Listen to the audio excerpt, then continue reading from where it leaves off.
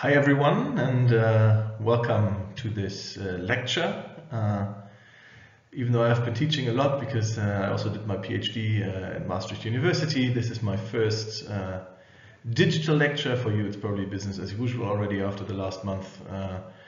for me this is the only lecture I normally deliver every year. My name is Philipp. Um, I'm an economist. I did my PhD at Maastricht University. I also did my bachelor and master at Maastricht University. I did my PhD on uh, higher education. So I looked at the decisions that students uh, make in higher education and um, the effect of uh, such uh, decisions later on the labor market. Um, and after my PhD, I stayed on with Maastricht University as a um, as a research fellow by now. So I still do a bit of research, but mainly after my PhD, I started my own company and that company is uh, called CASE, uh, which is short for Candidate Select. So we are involved in helping companies decide who they want to get to know for an interview, who they want to hire. Um, and this is why I'm talking to you today, because um, I will be talking about a bit about theory. I will try to link this to whatever you've been reading in your textbook uh, lately, but I can also tell, talk a lot about practice, because essentially we are offering uh, solutions for companies to probably select based on diagnostic principles um, their applicants. And um, yeah, let's do this. If you have any questions, I think uh, Steffen uh, scheduled uh, a Q&A session. So um, then you can also talk to me uh, in person and uh, ask me things that are unclear. Um, this was constructed to be a very interactive lecture because I think uh, lectures where only one person is talking and all the others have to listen are quite boring. Um, this is not going to work out today because I have to pre-record it. Um, so yeah, don't don't think me of being don't think of me as being weird just because I will be talking uh, quite a lot to myself and I will be asking myself questions. That's because this is sort of the style of the lecture. Okay, so I am here because um, from CASE um, I can talk a lot about um, uh, employee selection and practice, and at the same time I'm looking at these kind of processes from uh, from an academic research perspective. Um, as a research fellow here in Maastricht, uh, I'm working with Lex Borghans, who's a professor um, of labor markets and social economics, and he's also doing lots of um, research on education. So what we're going to do today is we're going to look at the theory behind uh, selection and signals. Um, why do we need signals? How do we select? Then I'm going to tell you what CASE is doing, um, how we try to solve these things. Um, we derive diagnostic criteria from educational degrees um, at CASE. So I will be talking about this, how we can use um, education, uh, uh, an, an educational degree in candidate selection and I will talk a bit more about selection processes in practice. Um, so how companies do this, um, how these kind of processes normally look like, which is also interesting for you because um, it's not just the content of this course, but once you are done studying, you will be in this situation that you are applying with uh, a company and um, well, maybe it's interesting to know how they are making the decision on whether they're going to hire you or not. Um, I'm going to skip self-selection. This is something you should have been uh, talking about in your course. So mainly the probation model, where the idea is that um, only people who sort of think that they can make probation, that they apply to a certain um, position. And when we talk about selection today, that means we're talking about the active selection uh, a company is doing. Um, so we're looking at different selection techniques, we're looking at signals, and these are the kind of things that you should be reading in your textbook now or the last week. Um, we're gonna have to see about that. So um, my first very interactive question now would be, what screening techniques do you know? Um, and then the answers I usually get is, well, I know CV screening, where people look at the CV, and then you can go into more detail and say, well, when they look at a CV, they look at the different items that are on CV. So they could be looking at education, they could be looking at prior experience. If you already have work experience, certainly rather limited for graduates that are applying for their first job uh, after university, but much more important for senior positions where people really have a, have a lot of experience already. Um, but there are other uh, screening techniques that you could employ too. You could um, you can uh, go into diagnostics, so you can uh, do tests. You can um, ask uh, certain questions to people, and such a test could be that you're testing for skills. So you could test a certain programming language. Um, you can you can there are some tests there, um, not always very good, but um, where they try to sort of uh, recreate the job, um, where they sort of position you in, in, in front of, a, of an email inbox, for example, and then certain emails pop in and you have to react to those. Um, but then there are also more psychological tests in, in the sense of, an, of doing an, a cognitive test, an IQ test, or um, uh, a test for personality, and we're going to talk about all these things uh, later. Why do we do this? Why do we need to screen? We have to do it because there's an information asymmetry. Um, and adverse selection is one example of an uh, uh, information asymmetry. There could also be moral hazard, but um, in this scenario where we're trying to hire someone, adverse selection plays a role, meaning that um, the people who make the decision who they want to hire, they have incomplete information. They have less information than the person who is applying. The person who is applying knows whether he or she is a, is a good a good guy, a good girl, a good worker, whether he or she can be productive. But the company does not know that. So the company will try to sort of develop prediction, an estimate um, on whether someone is going to be uh, good on the job um, that they are supposed to do. Um, and for that, uh, signals can play a role. So signals help um, to balance information asymmetries in this case of adverse selection. And um, we're going to talk a bit more about this on the next slides. Okay, I think we did answer those questions, so I'm going to skip through.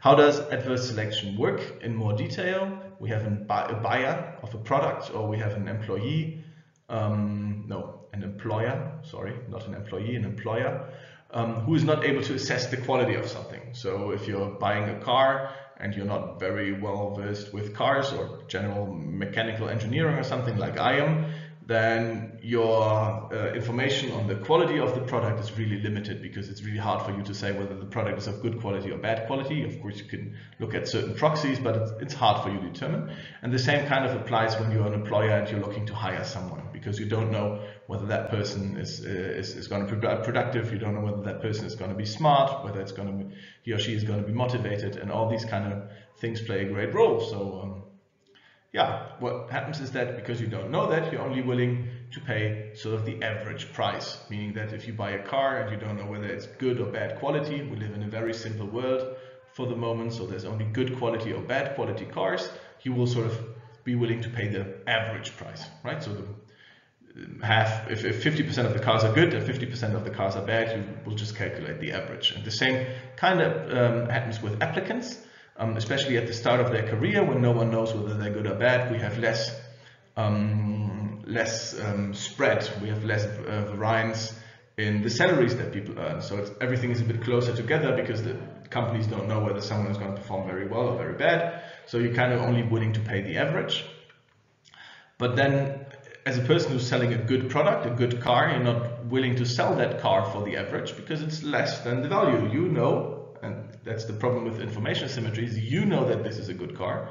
The person who wants to buy it is only willing to pay you the average price for the car and you know that's too little so you're not going to sell it. And that leads to a market failure. So then only bad cars will be sold for a value that is too high. Good cars will uh, um, get, go out of the market. The, the average price has to adjust uh, weighted average. Um, and in the end this leads to a market failure where only bad cars are being sold um, in this very simplistic scenario with good and bad cars, this is the this is the outcome, and um, this is sort of what what started this adverse selection idea when Akerlof, um, uh, an economist who, who, also won a Nobel Nobel Prize in, in economics, um, when he started the idea of adverse selection and how these information asymmetries can play a role. And the same we could see um, also in the example of the labor market. So the employer doesn't know um, whether someone is a good worker or not um, only willing to pay the average salary, but for that amount of money, workers are the good workers are not willing to work. So we could also end up in a situation where we have a market failure. Of course, this doesn't happen like that in real life because labor markets are much more complicated than that. But um, it's it's a good starting point to understand why these information asymmetries play a role and what we should think about them.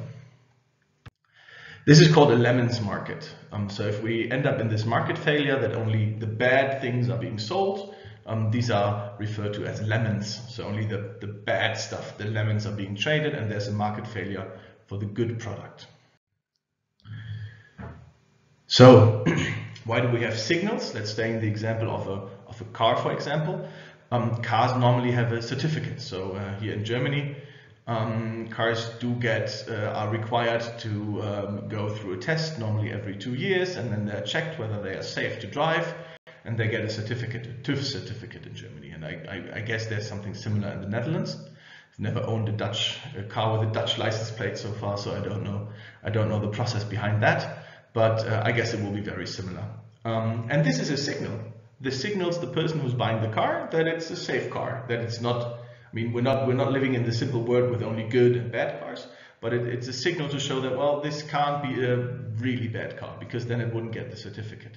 And this already tells us about um, the requirements for a signal to be um, efficient, to be productive, because a signal is only productive if it's not attainable for everyone. So if all cars would get a certificate, then this certificate as a signal is completely worthless because it doesn't help in separating between good and bad cars.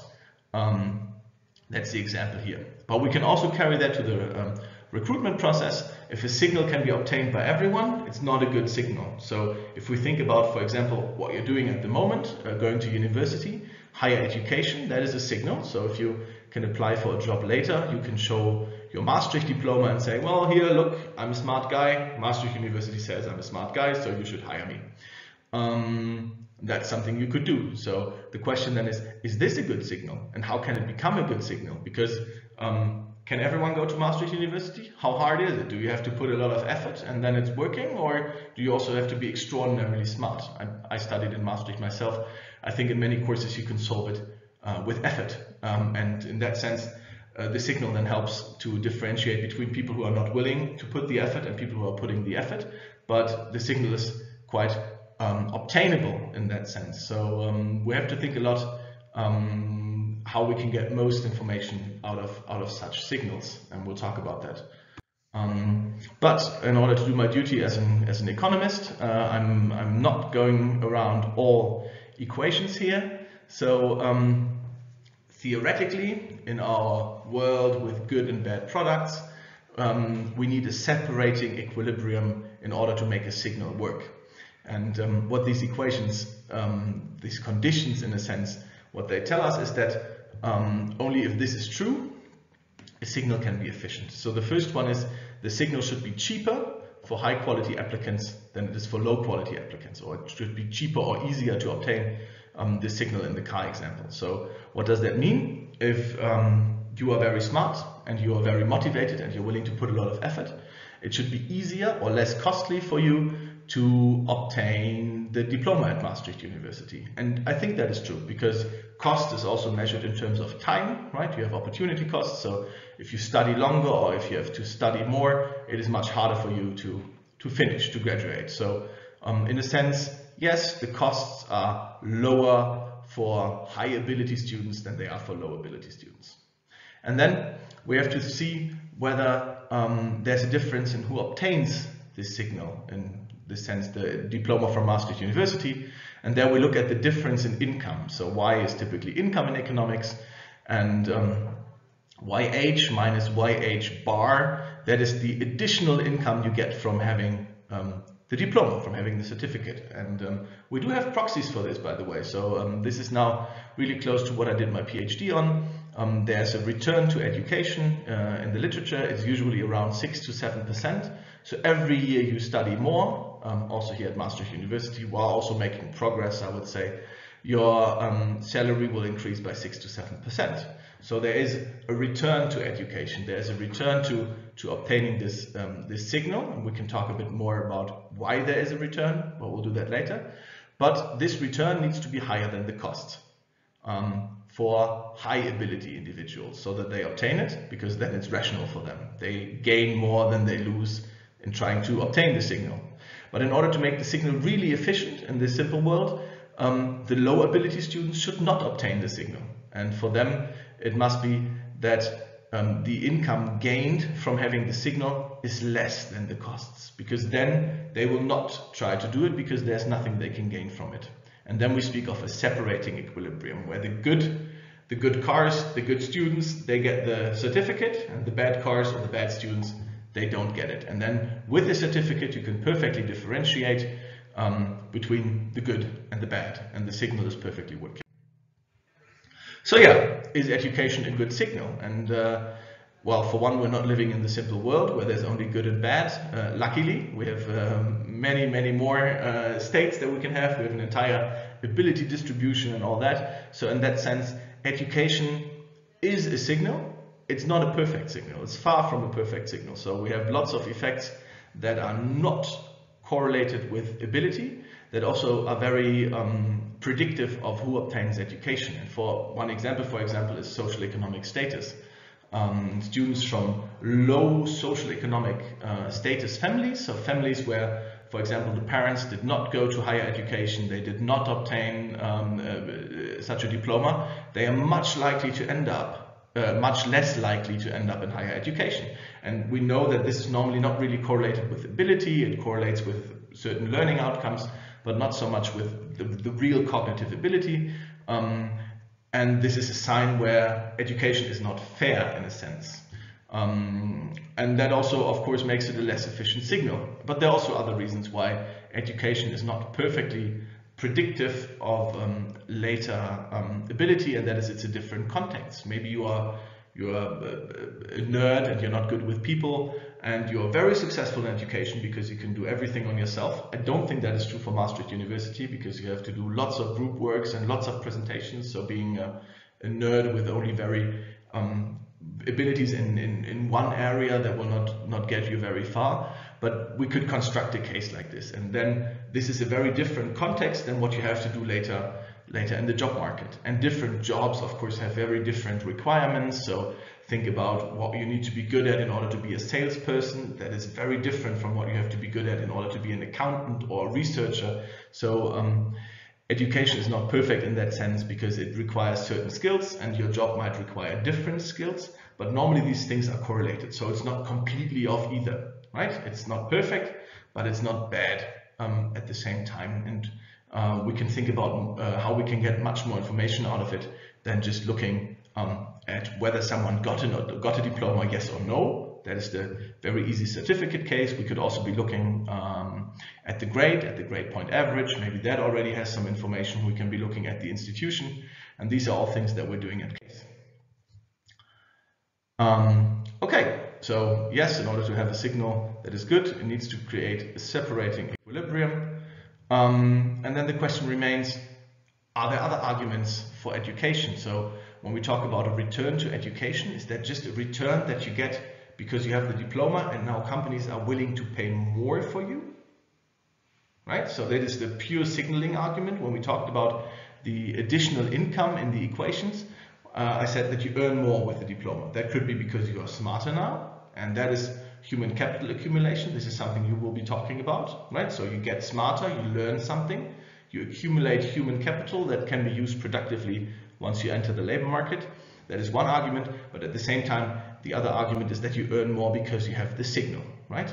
And the signal tells the employer that you're smart, and of course they want to play, pay more money to smart people than to less smart people, um, and that also gives you additional income. Um, and we need to differentiate between the two. So whenever we talk about the return to education, maybe I was not perfectly precise with that um, on, on my previous slide, we talk about the causal effect to education, and that causal effect is normally related to an accumulation of human capital. Whereas the signal is sort of not a causal effect. Having the signal did not make you smarter, but it's an effect that leads to more income because you can now demonstrate that you are smart uh, to other people. And that means uh, your market value will increase because they believe you now that you are actually really smart. Um, so back to screening techniques. Um, there are two different um, things that we can talk about. We can talk about checking credentials, and there we normally check signals. So we look at a CV, we look at a high school diploma, we look at things that someone did, or we can do things that try to measure productivity. And these are then the assessment tests that I talked about. This could be an assessment center, this uh, could be different tasks that you um, do with someone in order to sort of observe the productivity. Whereas in the credentials uh, checking case, you don't directly observe the productivity, but you um, look at something that can only be obtained by um, people with a certain productivity. Um, so let's look at one first, at the credential setting, and look at educational degrees um, in much more detail. Um, so the first question is, would you use degrees for screening? How or do employers use degrees for screening?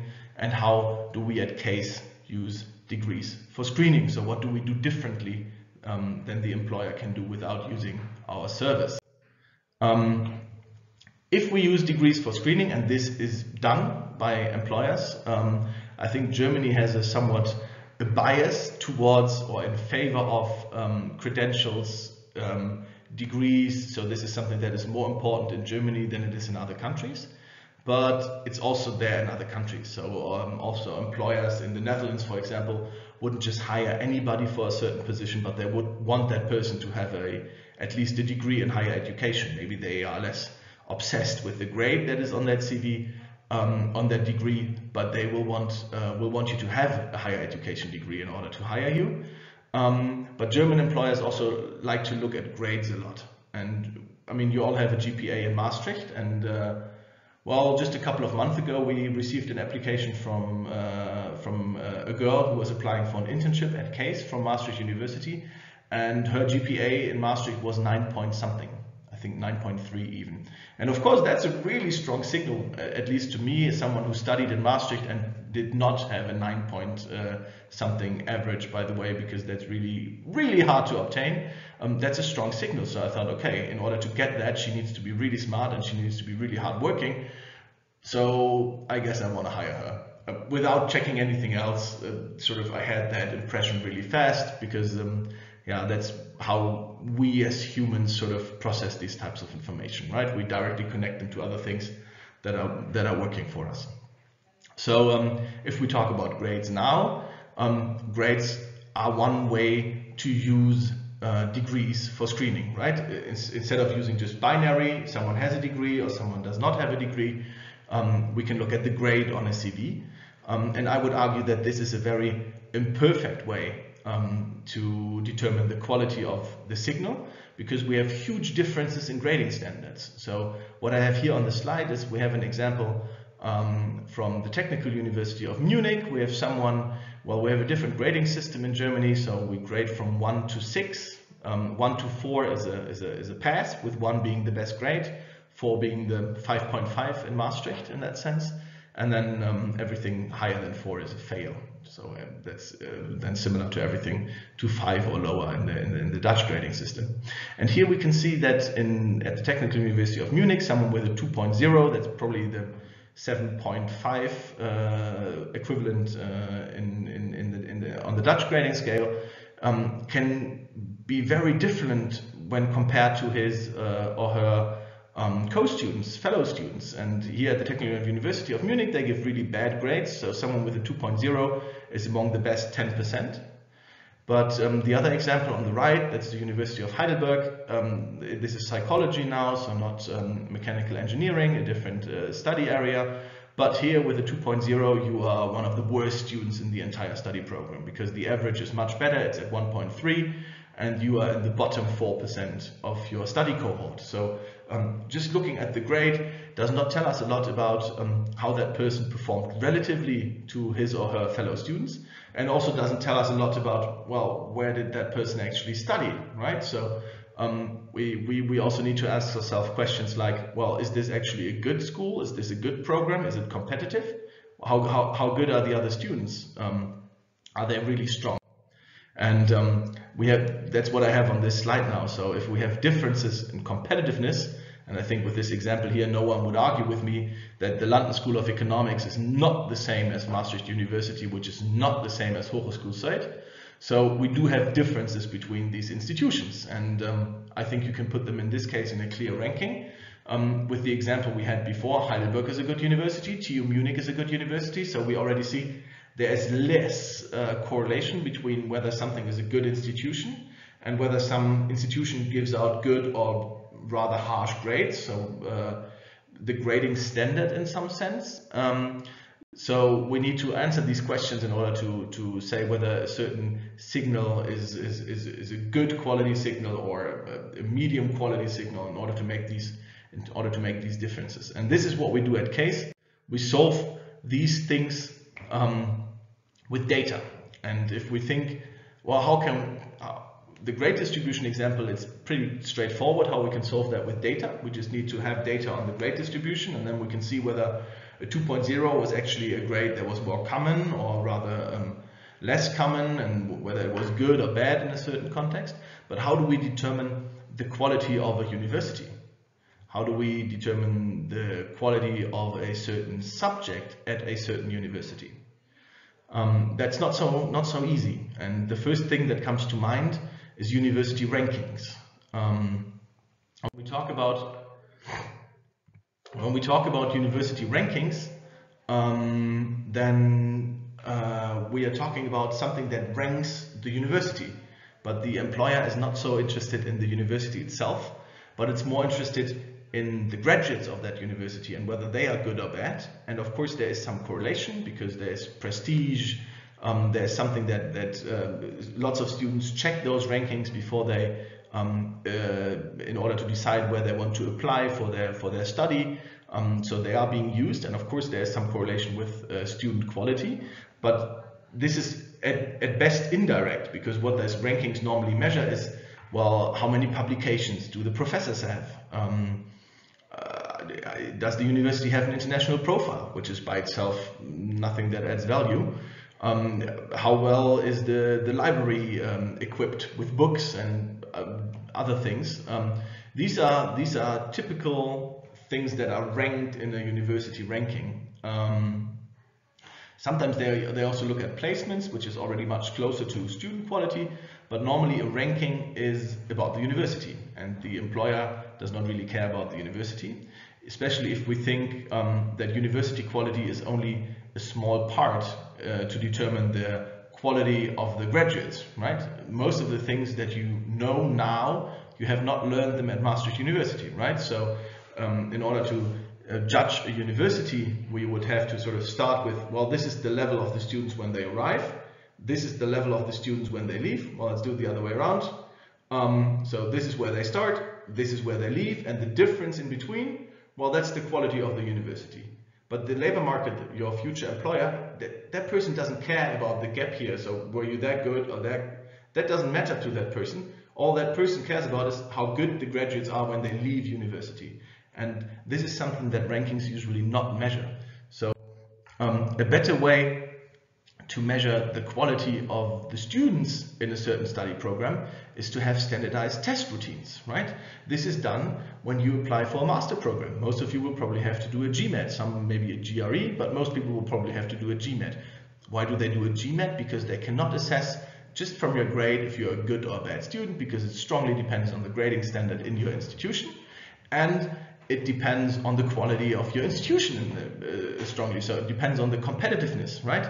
It's easy to be in the ten, in the in the best 10% of a very of, of a group that is not very competitive. Then then it's much easier to end up in the in the top 10% than ending up in the top 10% of a group that is highly competitive. So being among the top 10% at uh, LSE in London is much harder than it is um, at Hogeschool Zuyd because the competition is different and we need to understand these things. So a typical way to do this is look at standardized testing.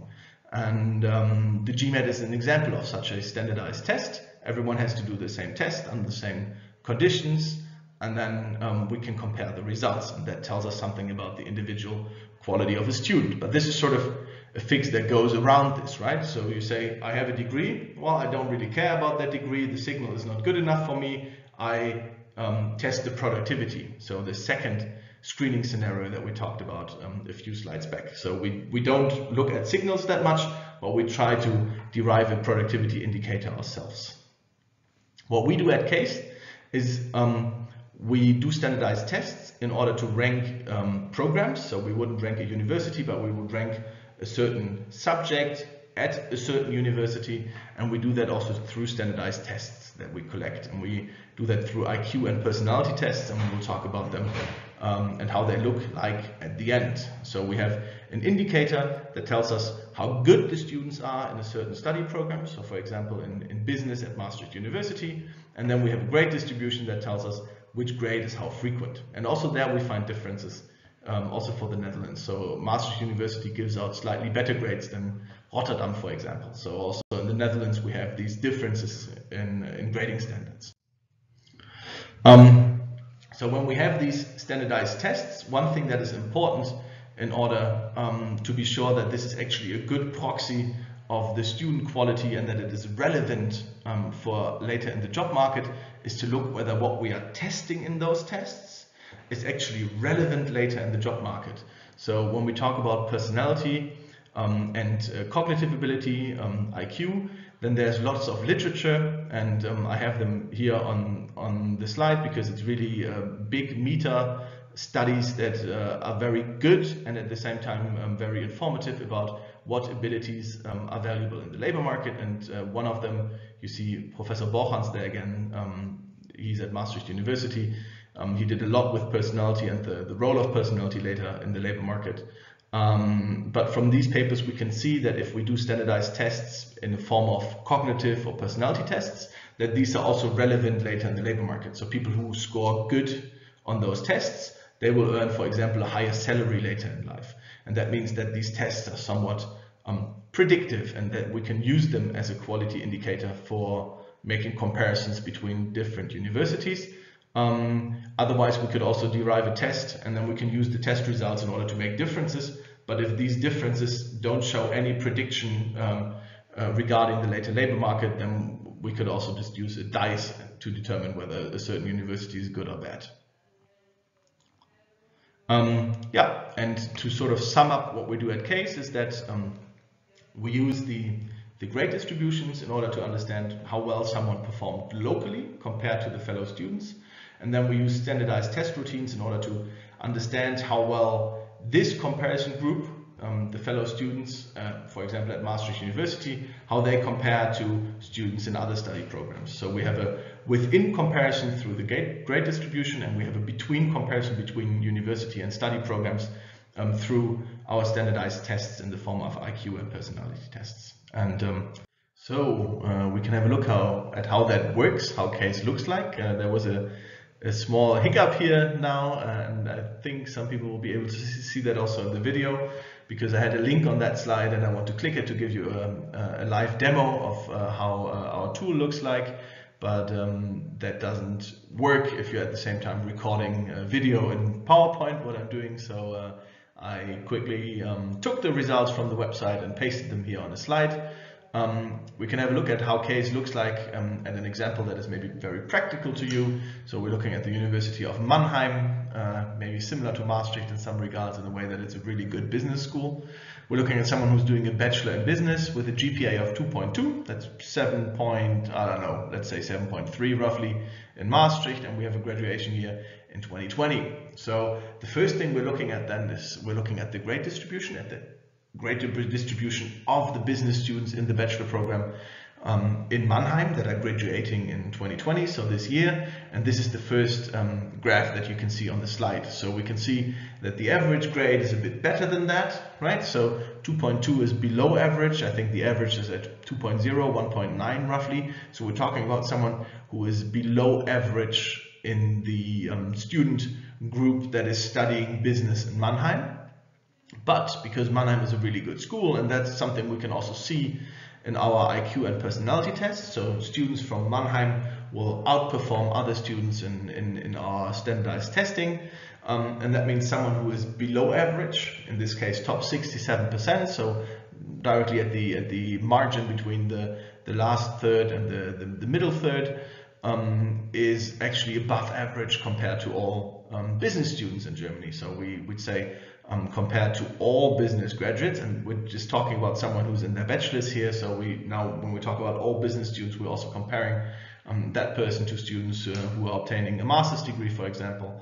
Um, that person will be top 38%, so much better in terms of um, the comparison to all business students. And this is now the combination already of local performance versus the benchmarking through the standardized tests, how good um, uh, the study program was. And then we have another metric, which is what we call the case score. So case subject score compares someone with all people in the same subject area. The case score compares him to all students in Germany. And there we can see that business students are somewhat below average on average. So they're really good business students, but students in other disciplines, so for example, physics or um, could be psychology or medicine in Germany because they're really tough to get in, that these students are more competitive in terms uh, of their performance on, on those standardized tests. So that student is below average in Mannheim, above average for business students, and really close to the average for students, for the student population as a whole. And um, of course, this looks completely different if we have someone who's really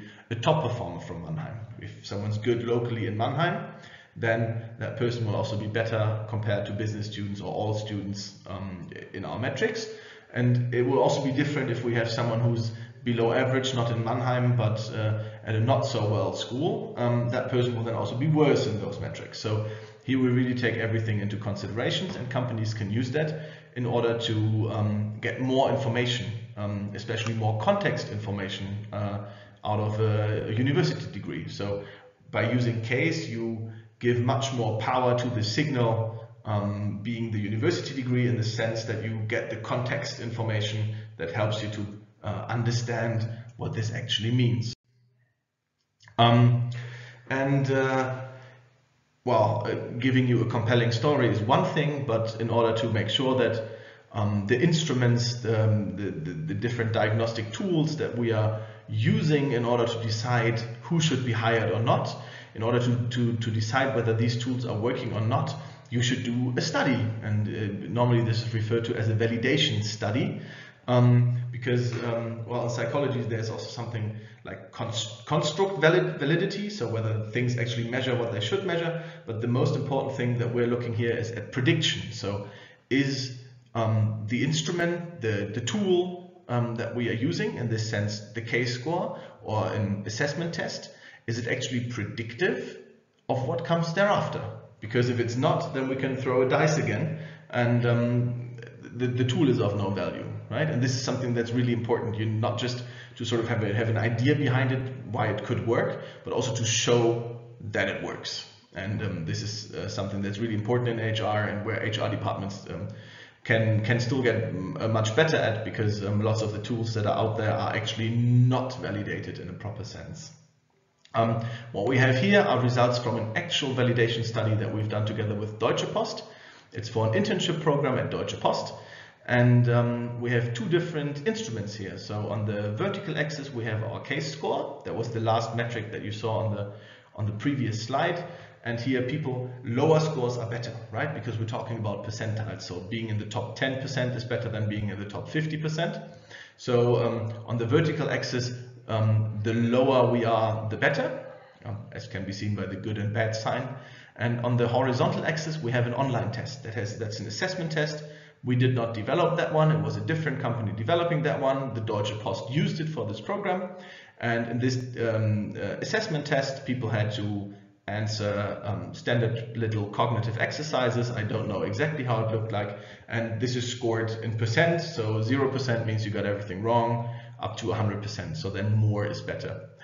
And um, having these two instruments, we can divide all the applicants in two groups. And this is what the green triangle is doing.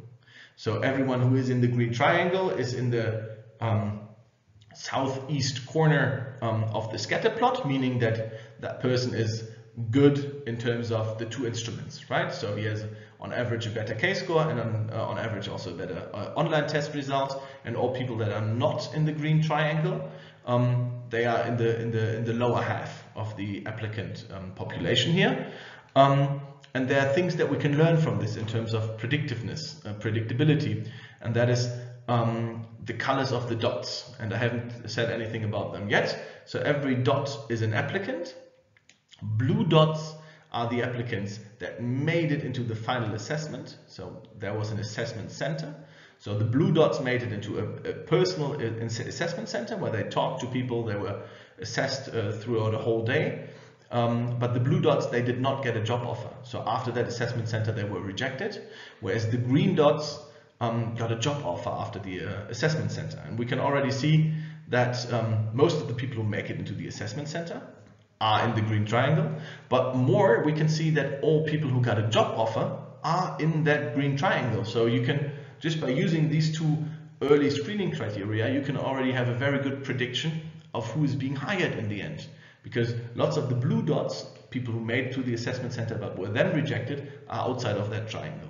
So by using the online test only or the case score only, you get a less precise estimate. By combining the two, you can make really good predictions about who's hired in the end. And you can make that a priori, so before the assessment center is conducted. So the company can now, um, using the two things together, they can hire better people or they can um, have less assessment centers, which is a which is a big cost saving because these things tend, tend to be really expensive. So there's lots of things that, that we can do here. But what we're predicting here in terms of um, uh, external uh, predictive validity is not whether someone is actually good on the job, but only whether someone is going to be hired. So this is this is nice in a way to understand the process and how we can um, um, streamline the process but this is not perfect in a way uh, of uh, validation because we're interested in whether these people actually the better employees in the end. Maybe they made mistakes in who they hired. Um, so we have a look at that as well. But before, um, here's another uh, study from Simon Kucher and Partner. This is a very good uh, German consultancy. They do lots of um, pricing, so they're, they're, they're really good. Uh, it's an economics consultancy. They, uh, they sit in Bonn um, the, the, headquarters are in Bonn, but they have offices all around uh, Germany and I guess also in the Netherlands. And they're also working with us. And here um, they sort of asked the question, okay, we know that we can combine the K-score and our online test. So they have a different numerical assessment test. Um, but which one is essentially more predictive in who gets the job afterwards? So they have the K-score, they have an online test, and thereafter they have uh, an interview that is normally conducted by a partner. Um, and in that interview, they determine who's going to be hired um, as an as an intern or as a consultant. So they have essentially two different um, uh, entry level positions. You can do an internship or you can become a full time consultant after your studies. Um, and there, it's not perfect to see because my video is now in the image, which is a bit problematic. Um, but um, we see uh, this A group. These are people who are really good in the online test and in terms of the K-score. So this is sort of the, the best group in some sense. Then we have the B group. These are people who are good in terms of their K-score, but not so good in terms of the online test. And we have the C group. These are people who are um, very good in the online test, but not so good in terms of their, of their K-score. And then we can look at the probability of people from these groups getting an interview. And then we can look at the probability of people from these groups um, getting a job offer. And um, First, in this, in this A group, almost everyone gets an interview. So the chance of an interview is at 97%. It's very high. Um, and half of them get a job offer. But if we look um, into the uh, B group with the good K-score, um, but the not so good online test, we see that only 20% actually get an interview. So they normally don't invite these people to an interview. But the same amount of people gets hired, right? So here also uh, more than half of the people get hired. And being hired again means a green dot. Uh, a blue dot means you got into the interview, but you were not hired. So the K-score apparently is very predictive of who, is being hired, because even if the online test is bad, um, the share is almost the same. And then as a comparison, and now you can't see the numbers for that, um, we have people um, in the C group, and they also almost always get an interview. And that is because um, at the point where we did this study, the online test was decisive in determining who will get to the interview and who will not get into the interview. And then they only did a, a small um, uh, uh, uh, control group um, so that we have group B. Um, so everyone got an interview, but less people were hired. So we see mainly um, blue dots uh, up there in the C group, and that shows us that um, the online test is predictive, um, also in combination with the K-score, uh, like we've seen on the previous side with Deutsche Post, that works. But the K-score was actually more predictive in terms of who will, got, who will get the job later. And that led to then Simon Kucher slightly adjusting the hiring processes. Um, and for us, this was obviously very nice because um, the results hinted at the K-score being a good predictor. And we can, um, uh, in, a, in a bit, we can talk about why that might be the case. So why um, something that adds information to a signal and uses past information in terms of a signal can be more um, predictive, can give more um, information than a standardized test. Um, we can talk about that a bit. But I did say that we also want to show something about the predictive validity in terms of um, who is actually the better employee, so who is more productive at their job. And in this course, you will talk a lot about how we can measure um, job performance, and this is really the, the holy grail of uh, this this uh, area of economics because it's really hard for some jobs to measure job performance. So if someone's a salesperson, fairly easy. You look at how much bookings that person is making, so how much that person is selling. But if someone is uh, doing a, job with less clear performance indicators, then it's really hard to determine uh, uh, job performance. Um, general solutions to that um, could be that there is a performance review, and this is also what happened at the um, German company Mahle. Mahle is not well known, but it's a very large manufacturer of car parts. So they don't make the cars, but they make lots of the things that go into the cars and um, they're really not small. It's a, it's, a, it's a large company, but they don't have a, have a consumer brand like all the other uh, big car brands, so of course less people know them.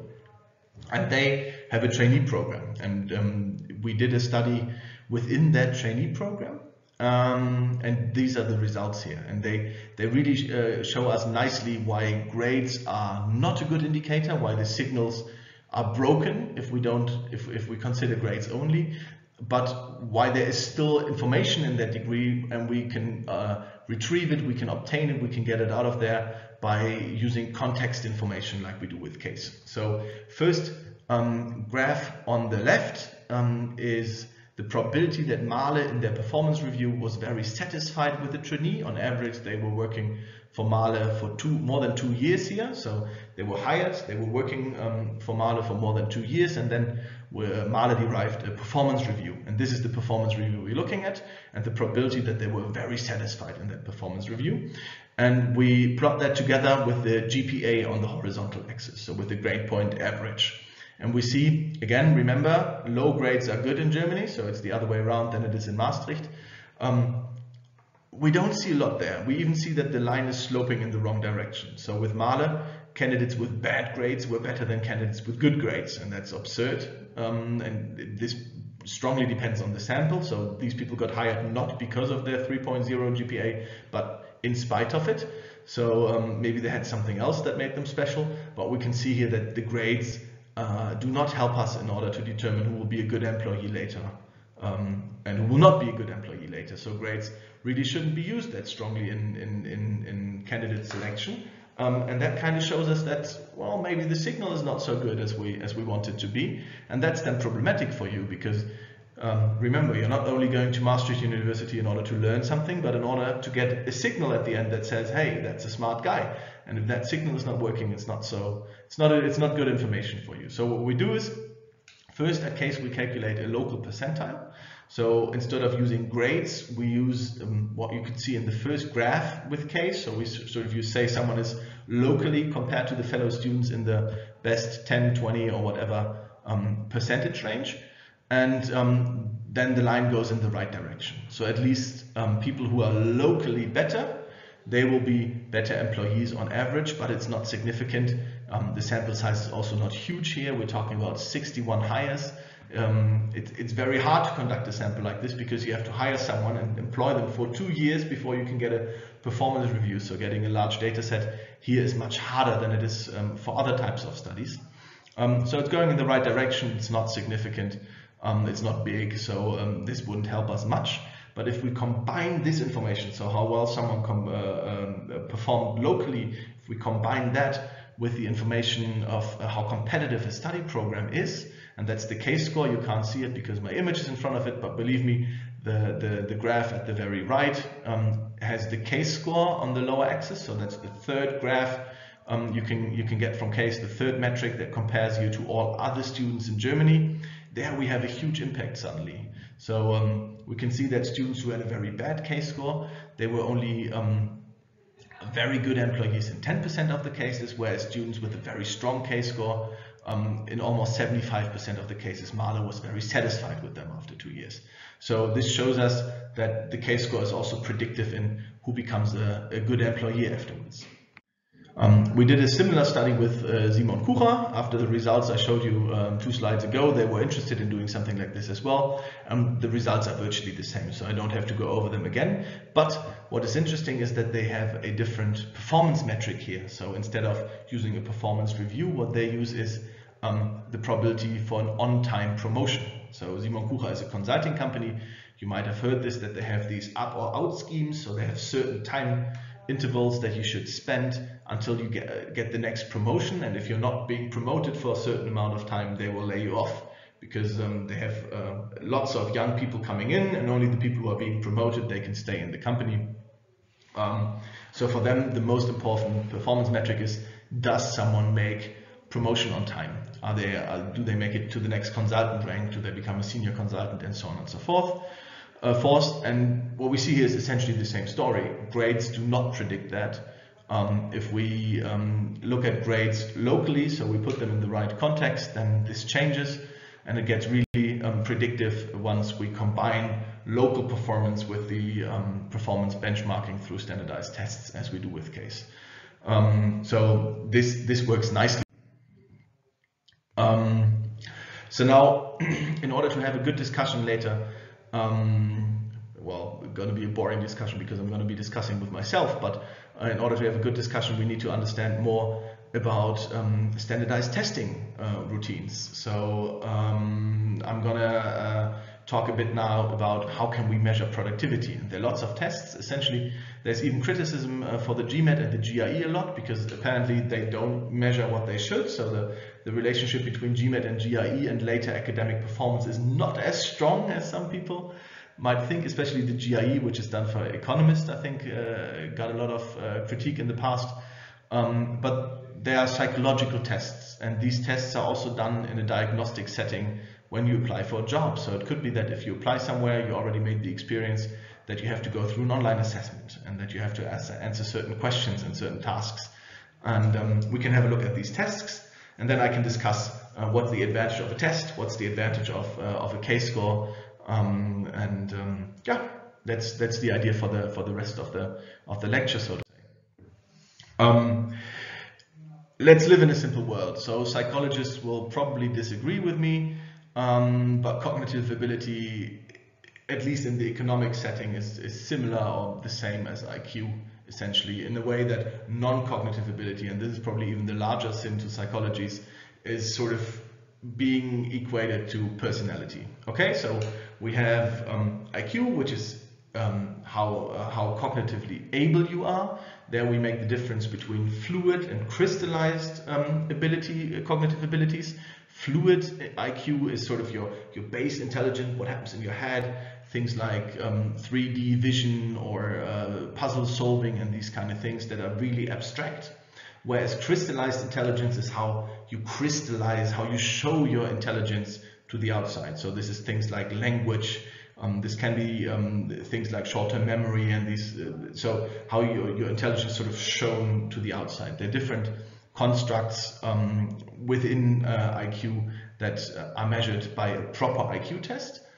Proper IQ test is something that is normally done in an interview situation, uh, so one-on-one -on -one interview situation by a psychologist and requires something like two hours uh, on average to be tested. And this is something that is not feasible um, for hiring processes. So in recruitment, um, whenever we talk about cognitive ability tests, we will have something that is normally conducted online, something that is much shorter, and um, also in that sense then a bit less predictive than the uh, clinical IQ test that psychologists would do.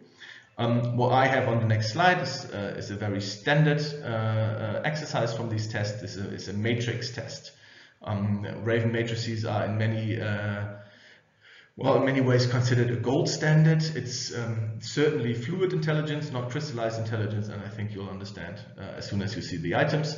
The other thing we're going to be talking about, I said, is personality, often equated with being non-cognitive ability. So all the ability that sort of determines the outcome so of, of, of how productive you are, that is not cognitive. So um, an example of that could be conscientiousness, which is um, uh, whether you're on time, whether you like to do your tasks, uh, whether you are productive, whether you like being productive, whether you are tidy, um, whether you're motivated. And these kind of things, of course, play a role for the outcome, but they're not cognitive ability. It's not that you couldn't solve it, but it's how much you want to solve it a bit. Um, and we'll have a look at these. Um, for personality, um, there are different models for personality, but there is one um, standard in a sense that, uh, it, and it's called the Big Five model. So we have five different personality traits, five different dimensions that classify our personality. Um, and there's been a lot of debate, not recently, it's a bit longer, um, there's, there's been a lot of debate in, in, in, psychology how many dimensions that should be. And um, what they did in order to come up with the Big Five model is they had a huge pool of statements about one's personality, about yourself, and we'll have a look at uh, some of these statements in a bit.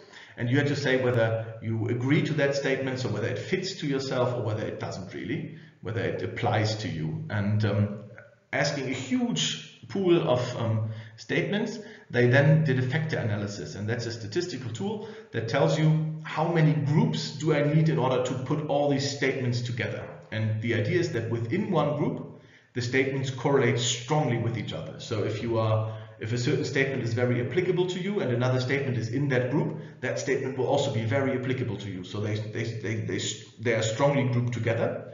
And between these groups, the correlation is essentially zero. So they're supposed to be not correlating with each other, meaning that we're really talking about a different um, dimension, a different personality trait, something that is not related to this. And these factor analyses um, tell us that we should have three to seven dimensions in most applications there will be five. And this is something that's been done in the, six, in the, in the 60s. There were four different groups of psychologists that worked heavy on this. Um, they're on the slide, but they all sort of came up with the same result. Um, and, and, that's always a good sign. So four different group of research, groups of researchers try to solve the same question and they come up with a very similar result. That should give you some confidence. And um, what we are normally using is something that's, uh, that goes back to Goldberg. It's called the International Personality Item Pool, IPIP, and we use it because it's free to use. Um, in clinical practice, you will, also in diagnostics, you will often see something that's, uh, that's based on Costa-McCrae. That is, for example, the NEO-FFI. Um, it's very similar, but this one costs in order to, to, to do it. So if you're ever in a situation where you, you want to test personality in your later life, maybe remember this they're very good options in order to test personality and they are for free, so you don't have to pay for this. And um, we collect these data in a, in, a, in a, big yearly study that we're doing. We tested more than 300,000 students by now. And um, using a test that we have to pay for is just not feasible because uh, we don't have such a research budget. So what are the five um, traits? What are the five different personality dimensions?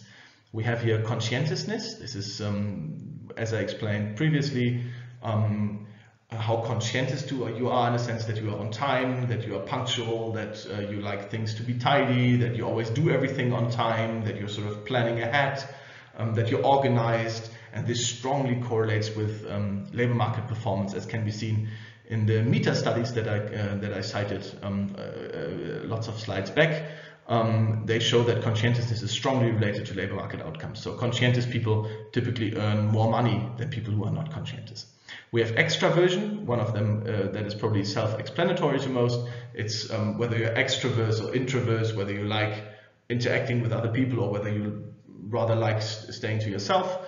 We have emotional stability. Um, the opposite of that, you also find it often in Big Five um, uh, tests that they phrase it negatively, and it's called neuroticism. Um, it's whether you're emotionally stable or whether you sort of uh, are prone to um, certain emotional uh, diseases even. So people who are who easily get depressed for example they will have low emotional stability. Um, we have agreeableness um, whether you are willing to agree with other people so whether you always have to get your position through or whether you are a team player in a way.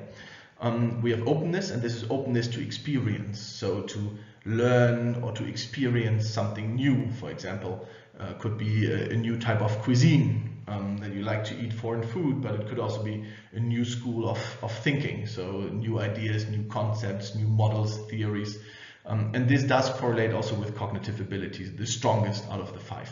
Um, even though it is not cognitive ability, it's not whether you are good at solving things, but it's whether you are, whether you like experiencing new things, whether you're open to that. I have a couple of statements on my next slides to give you examples of how they look like. Um, but before I do that, this is something out of my own research.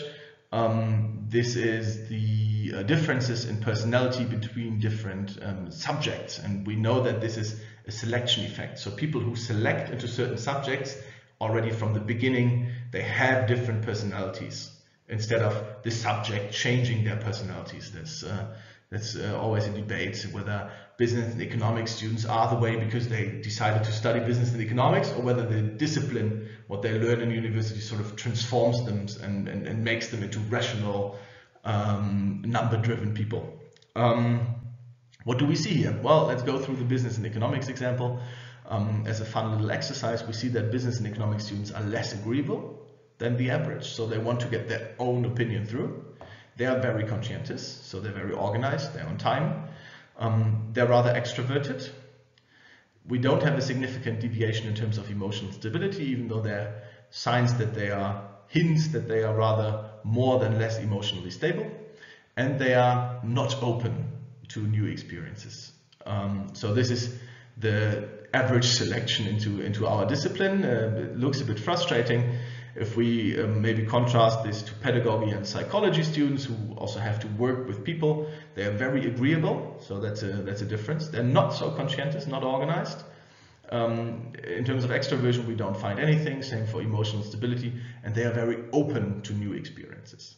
Um, so this kind of shows us what people um, decide to study what disciplines in a way, the explanatory power. So if you from this then try to predict what someone is going to study, um, this is not going to work great because personality is, is very broad. People have very different personalities. So being able to de detect something on the mean, something that's significant as, we, as we did here, is one thing. But that does not mean that from their personality you can perfectly predict their subject. So don't don't overstretch these results. But we do see, see that on average there are differences between people that are not, but they are not um, not too representative of every single individual. So there, there will also be business and economic students who are very agreeable and there will be psychologists who are not agreeable at all. So let's have a look at some statements. Um, I make plans and stick to them. Give you a second to think always. Um, this is an item that is from the pool of items uh, of conscientiousness. So this tells you whether someone is organized making plans. This is what conscientiousness is. I panic easily. That's emotional stability, right? People who panic easily, they are less emotionally stable. But this is only one item. So uh, typically in a test, you will have to do at least 10 items per domain or something like that in order to get a get an estimate that is somewhat predictive of your of your own individual personality. I insult people. That's agreeableness. So if you insult people, you are not agreeable. Um, even though in some situations it has been shown that um, being not agreeable can even be helpful, but not at the beginning of your career. Uh, this is for higher level management positions where in certain situations it can be good if you sort of push your own opinion through. Um, at least that has been shown in some studies. I have excellent ideas. This is um, openness, so whether you like new things and whether you like having new ideas. Um, and the last one is I am the life of the party, and this is extroversion, right? So whether you like engaging publicly with lots of people, um, you should be extroverts for that. Okay, so let's think we are back in the recruitment situation. So you are applying at a certain company and someone is doing this test with you. More items, so this was only five items, they maybe do 50, but do you see any problem if this is done that way? Um, it's a rhetorical question, of course, because I'm talking to myself, but um, I think most of you will see um, right away that you will probably not be honest in answering these statements, especially if some of these statements are I insult people. Most of the most of you probably when they're applying somewhere they would say no, I don't insult other people, and I hope most of you don't. Um, but also with the other ones, I panic easily. Uh, even if you're emotionally unstable, you would not say I panic easily, but you would you would cheat, you would lie, and that's perfectly rational because you want to have the job. And um, that's the problem with personality. It's very hard to measure personality without the person who is being tested um, cooperating. So it's really hard to measure your personality if you don't want me to measure your personality. And that means that in high stakes situations like application situations, it's really, really hard to conduct um, a good personality test. Um, of course, people thought about that and then they have items that are coded inversely and so on and so forth. But if someone really wants to lie, um, it will always happen. And especially on domains um, that are predictive, like um, agreeableness, uh, um, uh, emotional stability and conscientiousness, people do tend to do tend to to um, change their answers in a way that, um, yeah, they they they show what the company wants to hear. Okay, so this is how I did it last year. Last year I had a nice lecture room in Maastricht. Um, and I could uh, give out uh, pieces of paper with IQ tests on them uh, so that people um, could solve them uh, for themselves. Uh, I'm not going to do this uh, today because I can't, but we'll still have a look at the items and I will, at least for a minute or two per item, I will, I will shut up, have, let you have a look at it, and then I will give the results right away. So these are Raven matrices type of questions. So they're not actual Raven matrices in a way that they're from that specific test, but they're very close to to these uh, matrices items. And um, they can, this is something you, that could happen to you when you apply for a job somewhere. So this is something that companies like to do in order to determine who they want to invite for an interview, for example. So let's have a look at the first one.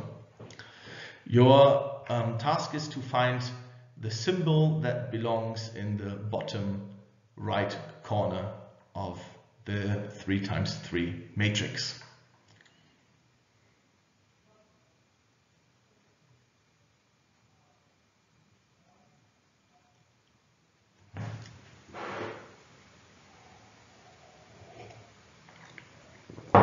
I guess that you can also pause the video. Maybe that's much more efficient than me waiting in front of my camera. So if you haven't solved it yet, just pause the video and think some more. Um, I will give the, the, I will do this, I will spoiler now. So the correct answer here is the dot. You can see that they are additive in a certain way. So in the top left corner, we have all the symbols together, right? We see the big circle, we see the square, we see the line, and we see the dot in the middle. And then once you move from uh, left to right, you see something. Uh, you see that the two things um, in the in the middle and the right column, if you add them together, you get the thing that's in the in the first row left column. And the same is true if you go the rows, right? So if we stay in the first column and look at the second and third row, we'll see if we add them together, we have the symbol in the top left. So um, in order for that logic to hold, we need a dot in the bottom uh, right corner, so third row, uh, third column, because if we add that dot with a circle, we will get what we have in the first column, last row, and if we add the dot with a square, then we'll get what we have in the third column, first row. So that's the answer here. It's a rather easy item. Getting more difficult. Again, if you want to solve it by yourself, uh, pause the video. Um, I will give the answer now. So what we see here is always a combination of three lines, right? We have lines on the outside and we have one line in the inside. Um, and in, if we look in the first row, first column, this looks a bit like an H. We have two short lines in the outside and we have one long line connecting the two in the inside, right? And then if we look at the second row, second column, so the one in the middle, ignore the rotation for a moment. We'll talk about the rotation soon, but just look at the length of the lines. You will see that we have the same symbol, but now we have short lines on the outside and a short line connecting the two inside, right? So, and all these symbols have that in common. So if we look first row, second column, we'll see something that has two long lines on the outside and a short line on the inside. It's not, a, not an H, it's a different symbol, but the pattern is the same, right, in terms of long and short lines. Um, and these, these change, right? So if we look first row, second column, um, we see long on the outside, short on the inside. If we go along the diagonal, we'll see um, that the lines are of equal uh, that we have the long line on the inside and the short lines on the outside. So that's second row, third column. And if we then continue the diagonal, so going out of the matrix and then coming back in the third line, first column, we see short lines everywhere. So short lines outside, but it's always the same kind of shape if we ignore the rotation for a moment. And the same holds true if we start off first row, first, uh, first row, third column, and then second row, first column, and then third row, second column. We'll also have this changing between short and long lines. Plus, whenever we move along the diagonal one, we get a rotation, right? We get a 45 degree rotation counterclockwise. And that's essentially everything that's happening. So the correct answer here is Okay, obviously the one that you can't see because my video is in front of it, it's um, an H that is lying on the side, right? So a long line here, short line there, and then a long line on top. An H like this, that will be the right answer uh, in this in this setting here. And now a last item, uh, even even trickier. So we know because we we um, when when you derive such a new test, of course, first you think about what an item uh, you want to develop and uh, try to have an idea, but then just thinking about an item and giving it out to people is not how you construct such a test, but you need to collect data on it so that you can normalize the distribution, that you know how many um, answers people normally answer right, so uh, answer correctly, and you um, need to see whether items are essentially predictive. So if the having the correct answer to one item is completely unrelated to all other items, all other questions, then probably this is not a good question. Um, so there are lots of things that you should do and keep in mind when trying to develop such a test. Um, again, if you don't want me to give the answer and you want to think for yourself, pause. Um, I will give the solution now. Um, and we have two different types of logic elements here, and they're called, you know, maybe AND and OR logic, right? Mathematical conditions.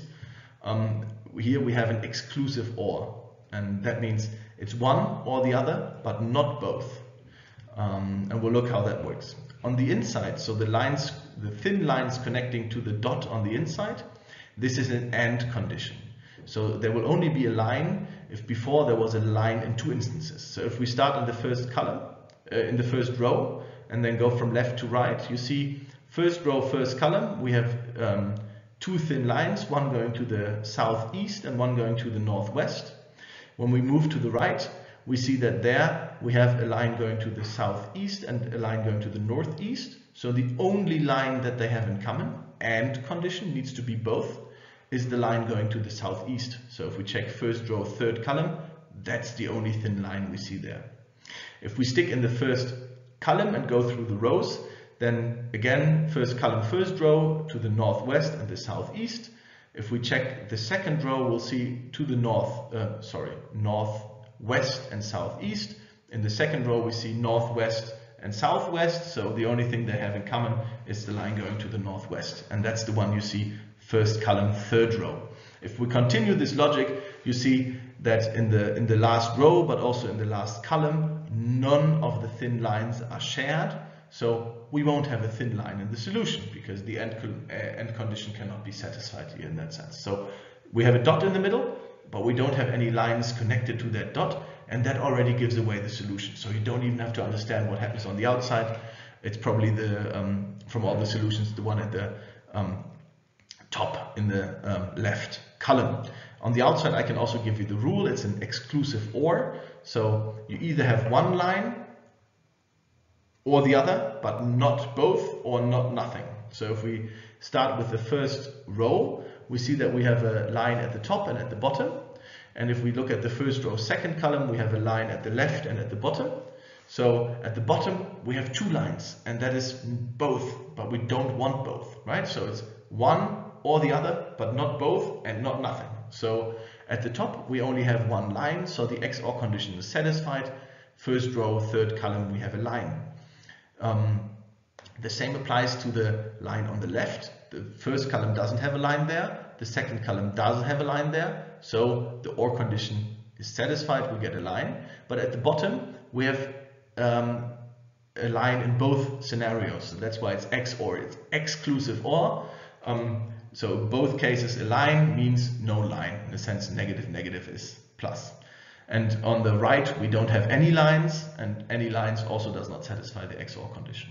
And if we continue to do it like that, then we'll also see that the answer fits in terms of the outside. Because, for example, if we check the last column now, um, we don't have a line at the left, because in the last column, first row and second row, in both cases, there's a line on the left, XOR, we don't get a line there. But all the other instances, all the other lines are unique, right? We only have one line at the top in the first row, and we only have lines at the uh, right and the bottom in the second row, meaning that we get these other three lines on the outside, we get them. And this is how you can solve these kind of tests. They should measure cognitive ability, meaning it sort of it should be something that's inert to you, that's not changeable, but of course you can learn these things. So if you ever end up in a recruitment situation, being prepared for these type of questions and having, having some experience with them certainly does not hurt. Okay, so why is this maybe considered a gold standard? What does this measure? And then the second question, is, that, is this a good measure of job performance? Okay, what does this measure? I think we know that by now. It's a fluid type of intelligence, right? It's base intelligence. Um, the reason why this is considered a gold standard is that lots of problems that a test can have do not apply to these type of tests.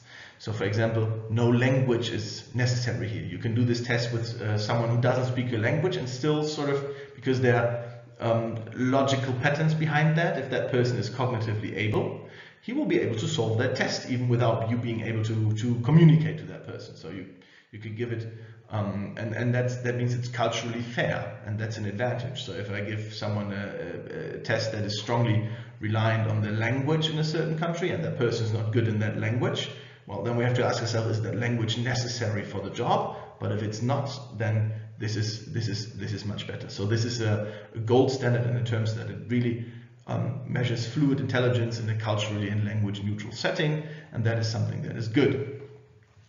Next question, is this a good measure of job performance? Well, in a way, yes. Um, because uh, if you are cognitively able, you will also be able to solve other problems faster. And in many situations, that is important. But to be very fair, in order to be good at your job, you don't have to solve these puzzles all the time, right? You also have, there's a lot of motivation in there. Some of the problems are just much easier and you need to be able to solve different things at the same time. This is really abstract.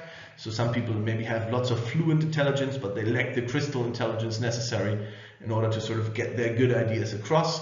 Um, so in that sense, it's it's a very narrow measure of ability, right? And um, in a job setting, you need a much broader measure of ability in order to have a really good predictor of, of um, job performance. That's why some IQ tests, they test other subdomains. So they not only test Raven matrices like these, but they also test for language and they test for other things that are important to get a broader understanding um, of cognitive ability. And then we could really speak of, of IQ in that sense. But also, it's from another uh, perspective not an ideal indicator of job performance and that is it's also very it's not just very narrow in the type of um, question you are answering it's also very narrow considering the time frame right? When you do these items it's um, maybe 20 30 minutes uh, in an online test uh, setting. Um, that's very narrow right? You could have a good day you could have a bad day so it has uh, it has those daily differences in in, uh, in performance that, that are still in there but it's also it's also very narrow in terms of um, motivation, right? Um, it's very easy to be motivated for 20 minutes if you want a job in order to do this test. But in order to do your job well, you need to be motivated for two years or three years and not just on the spot uh, fighting against the timer trying to solve these questions. But you don't have the time pressure, you don't have the external pressure, and you still need to stay motivated and concentrated and sort of show your your cognitive ability. So it's not just limited in the term of um, uh, question that we're asking, but it's also limited in terms uh, of timing. And um, there are also some aspects in there um, that show us that this is a more short-term measure of performance compared to job performance being a more long-term measure of performance. And this is also what we find in our studies. So here we are back to the case study um, with Mahle, and um, I showed you results already for um, the predictive validity of the K-score, but they also had an assessment test in there. You can't see it because it's also again behind my video probably, but um, the assessment test there did not correlate with job performance. And the assessment test they did was a matrix test like the one you've just seen. So they did this test that was very, very similar um, to what you've just seen, and it did not correlate with job performance. That does not mean that people don't have to be cognitively able at Mahle, but it means that apparently this test was too narrow to predict job performance. And if we contrast this now to the K-score, so the K-score being um, our contextualization through our algorithm of um, academic performance, um, then academic performance is a long-term measure. So in order to obtain a degree from Maastricht University, you'll be studying for, well, let's say three years, some of you maybe a little longer. Um, so you need to be you need to stay motivated over a longer period of time. It's also broader in terms of the exercises that you're doing. Of course, in order to be successful in Maastricht, sometimes there are these really logical tasks that you need to solve in certain assignments or certain exams. Maybe think about um, QM1 or QM2 in your first year. But then there are also um, other things. There's group work, there's presentation, things that are much stronger correlated with um, with a more fluid type of intelligence maybe, um, which are also much stronger correlated with personality that is not measured through the test. So there, there's not just the cognitive ability part, but there's also um, other aspects that are important in order to be successful in your study. And these things are in there.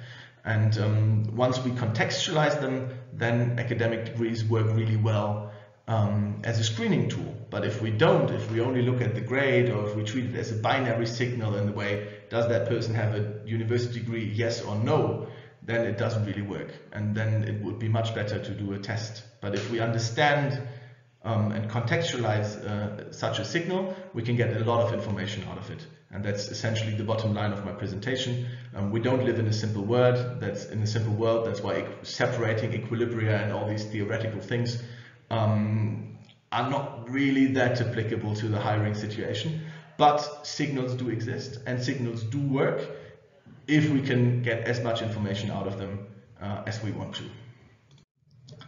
Okay, so if there are any questions, uh, please come uh, to the Q&A session. Um, on this slide, there's also my Maastricht email address. It's uh, maybe also cut off, but I think everyone knows how it finishes. So it's philipp.seegers at maastrichtuniversity.nl. So if you have any teaching, research related questions, send me an email there. But if you don't have these type of questions, but you have more questions about CASE, um, or even maybe interested in doing an internship with us, um, this is our team. So we are um, located in Cologne, Germany. Um, we are by now, the image is a bit old. Also the distance between uh, us shows that this is pre-corona. That was in February. We're by now um, 20 people. Um, a very nice startup team. Um, we're working with very cool customers in Germany. I think some of them you've already seen um, through the case studies. And uh, we mainly have positions in, in, data science. So that's people driving our product forward, developing new algorithms, new um, AI tools in order to get as much information out of a CV as possible. And at the same time, we have people working in business development. So these are the people who then reach out to our customers and try to explain our scoring. And um, exactly, those are the, the, the, two positions where we're looking for interns. And if that's interesting for you, um, drop me an email at uh, pks uh, at candidate-select.com. And uh, yeah, see some of you in the Q&A session uh, on Monday. This is Friday. Uh, no, this is Thursday, so that means I even have no idea who won the US election. Um, that's also a very interesting statistical problem, but nothing we're going to be talking about now. Thank you very much for your attention. I hope you enjoyed uh, this lecture. Um, great success in your studies, given this um, very interesting time we're having at the moment. And uh, yeah, if there's anything, feel free to reach out. Thanks and bye.